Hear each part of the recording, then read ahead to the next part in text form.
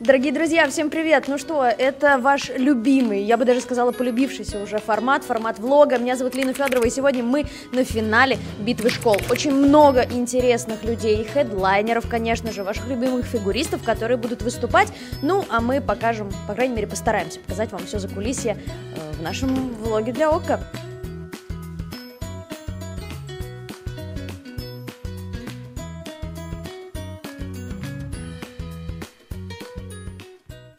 Дань, как дела? Все хорошо. Выглядишь уставшим. Почему? Потому что только сегодня ночью приехал домой, лег в кровать на несколько часов и опять сюда приехал выступать. Сколько в общей сложности уже городов э, тобой объехано в рамках тура? В рамках тура 11 и остался последний, завтра опять улетаем. Куда? Чебоксары. А что у тебя на подбородке? Ты рассек его, что ли? Поцарапался. Ладно, слава богу. А, как э, идет подготовка к четверному акселю? Наверняка уже такие мысли были. Мысли были, но они потом быстро угасли. После падения кое-кого? Да нет, ну просто я понимаю, что, наверное, пока что я не готов к этому психологически. Это я вообще не понимаю, как это крутится. Поэтому я не хочу сейчас рисковать. Э, Сначала у нас отдых, потом сборы, а там уже посмотрим. А что до постановок программ уже есть какие-нибудь идеи, музыки? Может быть, даже что-то поставили? Не, пока ничего не ставили, мы всегда ставим на сборах, но а, есть одна идейка, которую я хочу предложить Данилу Марковичу, а там уже посмотрим, одобрит, нет. Ну, давай хотя бы так, э, вкратце. Что-то очень современное или наоборот? Новое это хорошо забытое Нет, старое? э, да, новое это хорошо забытое старое. И, наверное, ну, возможно, такой образ, который я редко показываю на льду. Поэтому, ну, посмотрим. Хочу предложить, а там как Данил Маркович, ты Игорь, скажет уже. Привет. Да, это Блад. Да, Яна занимается танцами вместе со мной, поэтому она попадает автоматически в мой влог ОКО. Скажи, пожалуйста, через сколько ты будешь выступать? Через полчаса. А что мы с такими глазами кам- стеклянными стоим? Ты что, переживаешь? Нет. Какой у тебя настрой на сегодняшнее выступление? Боевой или не очень? Хороший настрой. Ян, э, значит, смотри, сейчас нужно будет повернуться на камеру и сделать вот так. Сможешь? И тогда мы поймем, что ты собрана, все свои силы собрала для того, чтобы выйти и откататься лучше всех. Ты готова? Да. Поворачиваемся на камеру и делаем одновременно. Раз, подожди, на три. Раз, два, три. Молодец. Алла Лобода. Как давно я ее не видела. Аллочка, привет.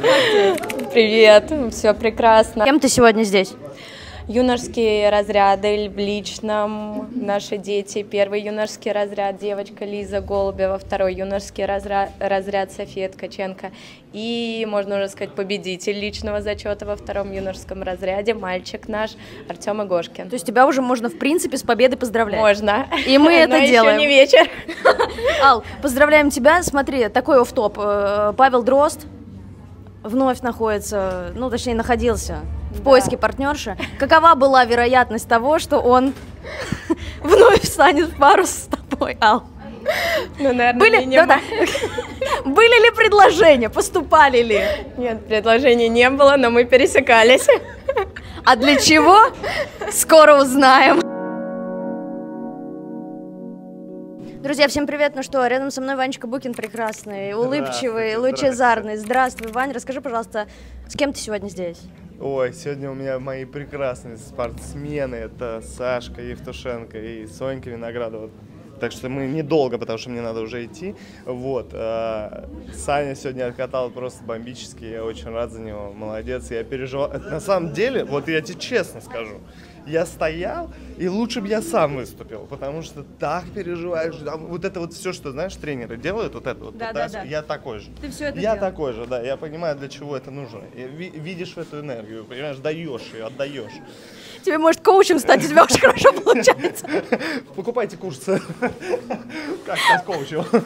Такая нативная реклама от Ивана. Ну, конечно, после спорта-то жизнь не заканчивается. Да. Вань, ну смотри, ты пребываешь в двух амплуа. Ты сейчас и тренер, и действующий спортсмен. И вот к чему тебя больше тянет до сих пор? Или, может быть, уже? Я тебе так скажу, в спортивной деятельности я уже давно, я знаю ее. Вот. Э, В тренерской совсем недавно.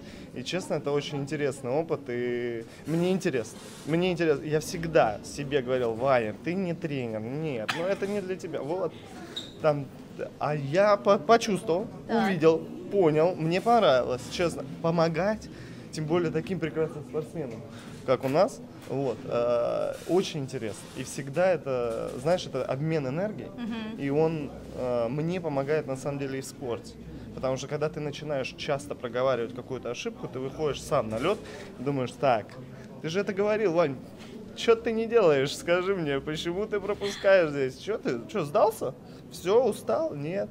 Надо работать. Серебряный призер Олимпийских игр Александра Трусова.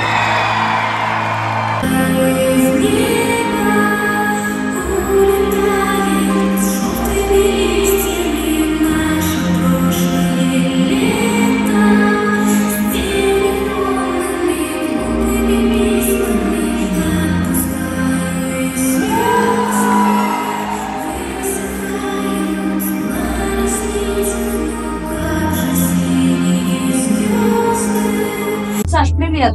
Привет! В очередной раз и снова здравствуйте! Как твои дела? Что изменилось за столь короткий срок, чтобы не видеть?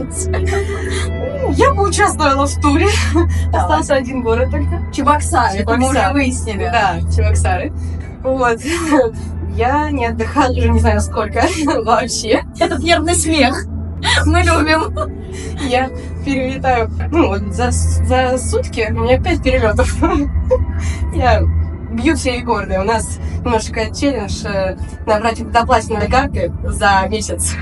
Действительно, на таких бонусах потом можно и в Австралию бесплатно уже туда-обратно. А, ну и как тебе в таком режиме? Нормально? Ну, тяжело, конечно, но в целом, да, нормально. Я очень рада, что этот месяц подходит к концу. Я надеюсь, всем очень понравилось. Спасибо, Саш. Нам понравилось.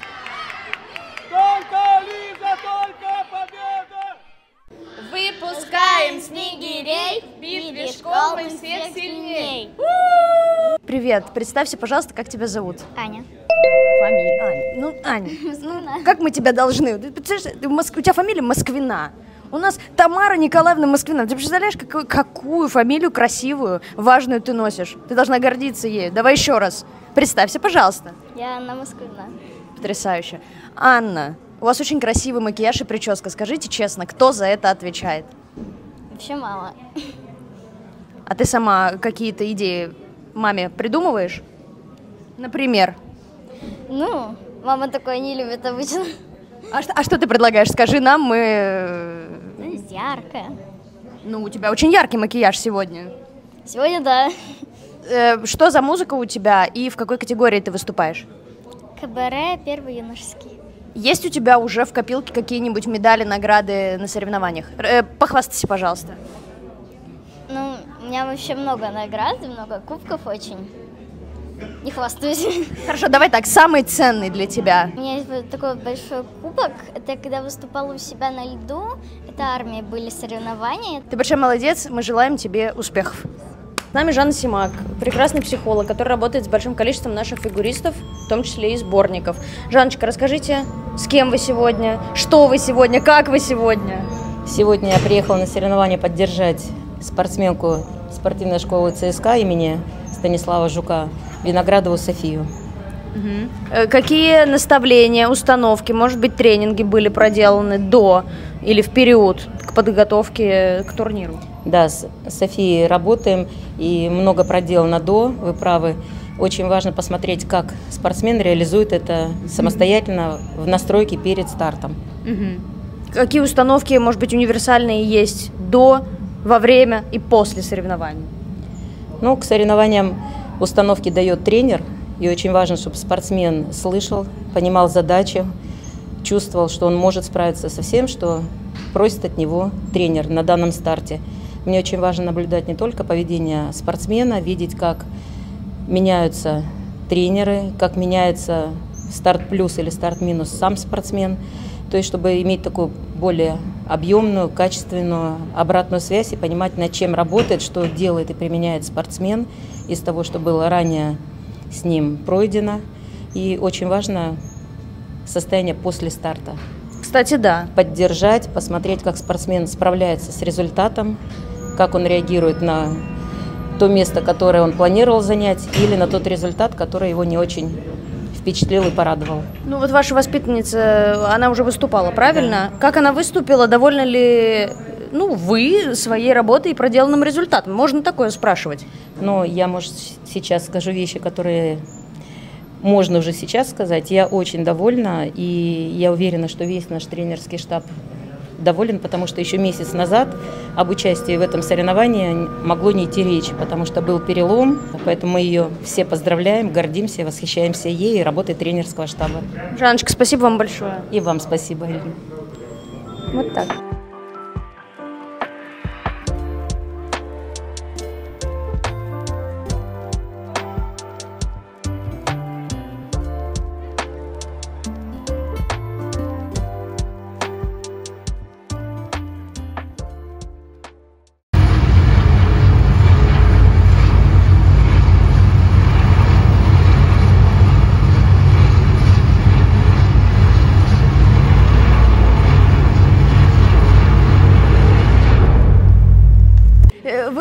Эмоциях. Здравствуйте. Представьте, пожалуйста, и все рассказывайте. Э, Шакирова Светлана. Э, мой ребенок сейчас выступал, Шакирова Марьяна, с травмой. Что случилось? Что такое? Потянули мышцу паховую. Э, очень тяжело тренировались угу. последние несколько дней, ну, потому что сильные болевые ощущения, пришлось э, поменять контент, облегчить, но я считаю, что она справилась. А за сколько дней травма до старта? Да вот буквально с воскресенья. Да вы что? Да. Вы, вы, скажите, вот вы как мама, вы насколько сильно переживаете? Я видела, вы видели, вы смотрели выступление. Вы одна из тех самых смелых мам, которые все-таки смотрят, да, прокаты своих детей? Нет, я на самом деле вообще никогда не смотрю. Но здесь экраны, здесь можно посмотреть. А вообще ребенок, когда мы выходим на старты на любые, мы, я не смотрю, она не разрешает. Я хожу нервно вот по раздевалке, ну, переживаю, а потом уже в записи я пересматриваю, конечно. Какие наставления даете своему ребенку перед стартом? А, самое главное наставление а, – получать удовольствие. Вот просто получать удовольствие. Делать все, что она может, а может она много, и просто получать удовольствие мои наставления всегда такие. То есть вы не из тех родителей, которые кричит, орет на своих детей, вот, ты должна сделать, во что бы то ни стало. я знаю просто, что она может сделать. И я говорю, делай то, что ты можешь, а ты можешь многое. И, но ты должна кайфовать от себя. Э, фигурное катание нынче дорогое удовольствие? Очень. Не очень дорогое. Назовете цифры? Ну не, ми- ну, не меньше 100 тысяч рублей. Это самая минимум, минимальная сумма в месяц, которая нужна. Э, Нина Михайловна, здравствуйте. Привет. Влог снимаем для ОК.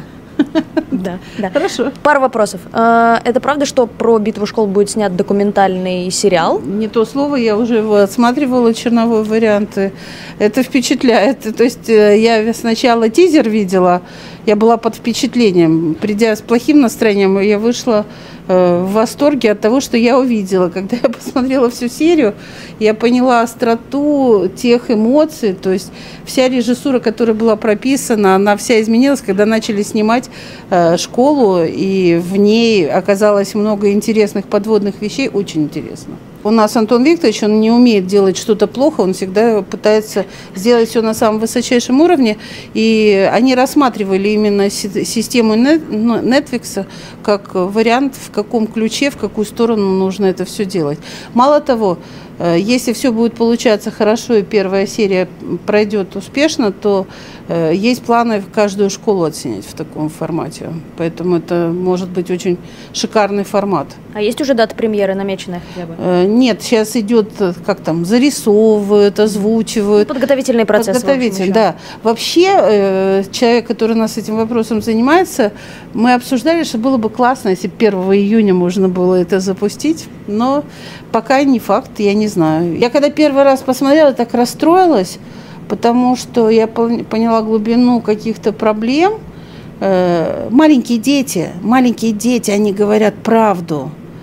Они ведь маленькие, они не взрослые, которые пытаются скрыть какие-то, а они говорят честно. И я была в ужасе в первый момент.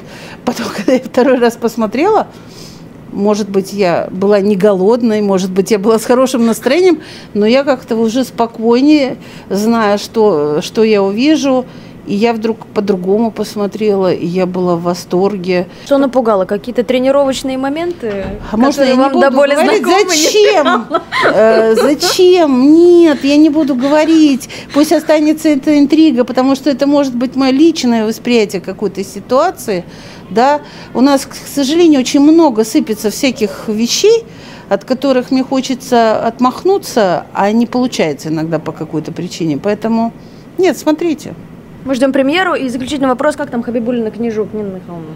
Что это был за трансфер такой неожиданный? Или давно планировался? Ничего не планировалось. Опять-таки Софья Николаевна, она меня убедила, что мне надо еще поработать тренером. Она меня очень долго уговаривала. Месяца три. Так, что нам ждать тогда? Обновленных Хабибулина книжука или просто работаем над тем, что есть? Мы попробуем. э, То есть ребята приходили ко мне, мы разговаривали. Они были у меня когда-то в детьми на сборе ISU. Им понравилась моя команда. У меня команда это не развалилась. У меня ушли какие-то люди, но основная команда, костяк остался. И, в общем-то, э, я всех уговорила, что давайте мы все-таки еще раз в эту лужу войдем.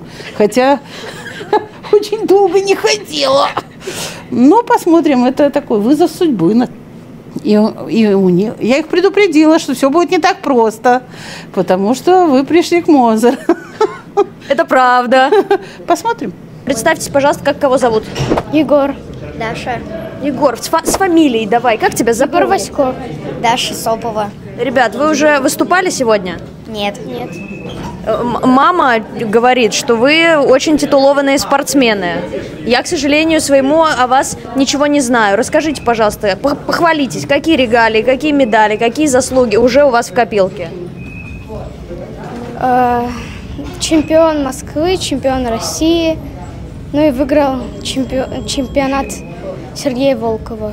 Молодец. Ну, я учу четверные, пока чемпион, э, чемпионом России не стала, но почти. Ты моя хорошая, чемпионом России, она еще не ста- Здорово. А сколько тебе лет? Десять. И какие четверные ты учишь?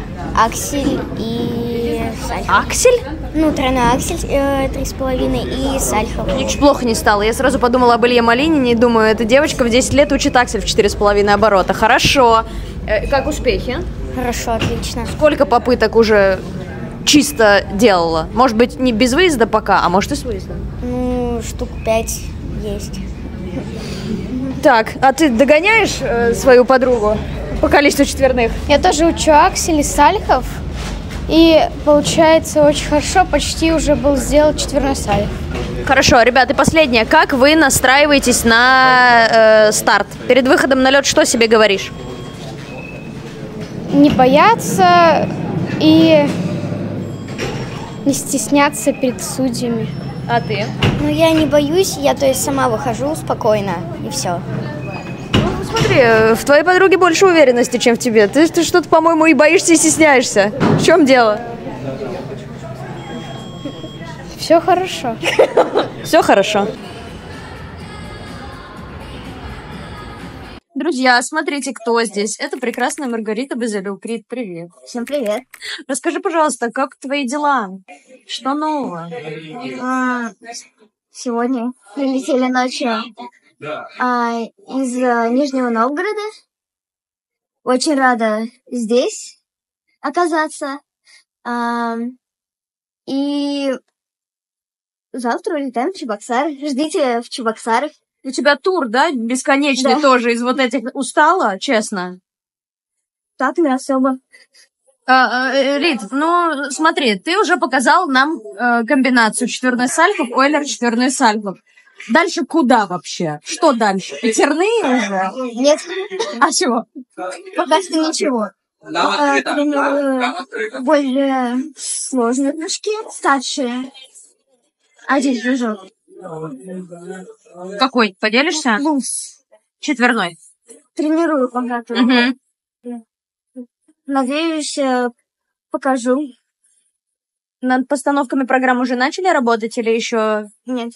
А сама чего бы хотела? Есть, кстати, у тебя есть музыка или программа мечты, вот которую ты бы хотела обязательно скатать, пока ты в спорте? Не задумывалась. Ну, а если подумать? Ну, например, знаешь, очень многие говорят, ну, мне бы хотелось сказать Карме. Ой, вообще нет. Не хотела бы скатать корону. То есть тебе ближе лиричные образы, да? Что-то более нежное или я бы, наоборот? наверное, более хотела радостное, что-нибудь веселое. Хорошо. А сегодня ты с каким номером выходишь? А моя произвольная ее программа, она, мы ее с Дмитрием Георгиевной ее укоротили, чтобы была более... Адаптированная, да, такая адаптированная, версия? Да, чтобы меньше было, меньше прыжков. Меньше прыжков. Да. Меньше прыжков, друзья. Спасибо тебе большое, Маргарита. Ждите нас завтра, а нет, послезавтра в Чебоксарах. Девчонки, привет! Привет! Привет! Это, между прочим, наши постоянные зрительницы ВОКа. Смотрят подкасты, смотрят все программы, смотрят трансляции. Это же так? Да. А, скажите, пожалуйста, почему вы сегодня на этом турнире? Есть за кого болеть? Да. Да, есть, конечно. За кого? За всех. Э, Болею абсолютно за всех. Хочу, чтобы все прекрасно выступили. За всех, но есть любимчики. Назови, пожалуйста. Александр Плющенко, Арина Парсегова, ну еще есть. Ну, я тоже приехала посмотреть на всех. Наверное, на Алину Загитову больше хочется и на Маргариту Базылюк. Ну, то есть хедлайнеров ждем, в общем-то. Да. Да, тоже ждем очень хедлайнеров, но также хочется посмотреть на красивые прыжки и красивое катание. Хочется увидеть именно спорт на льду в очень эластичном исполнении от наших фигуристов. Камиле Валеевой исполнилось 18 лет. Каждый быстро по одному пожеланию прекрасной девчонки. Здоровья. Сил. Возвращение на лед. Терпение. Исполнение мечт. Люблю Камилу. Добрый день. Здравствуйте.